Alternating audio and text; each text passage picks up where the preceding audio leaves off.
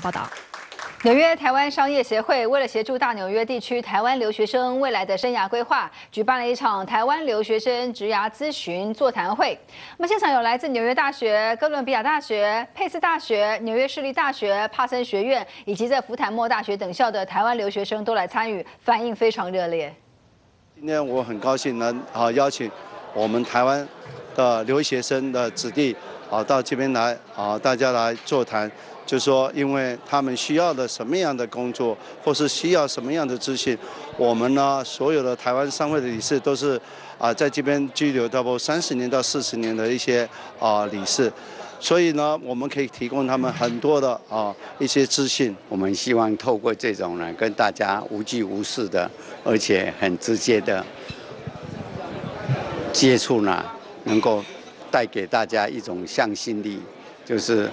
对台湾的关怀跟对台湾的贡献，同时呢，在这里呢，大家会找到一个方向。我们大纽约地区呢，台湾留学生大约有四千名，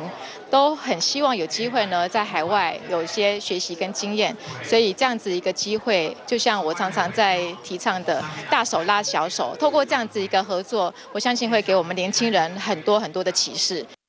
好，活动上留学生特别感谢纽约台湾商会的热心安排，规划了法律、房地产、财经、会计、创业以及这市场管理等各领域，邀请专家来分享经验，也提供咨询服务。透过面对面互动，加强与年轻学生的联络与交流。现场一共有一百多位留学生参加，大家都认为对未来在美求职和发展有很大的收获和帮助。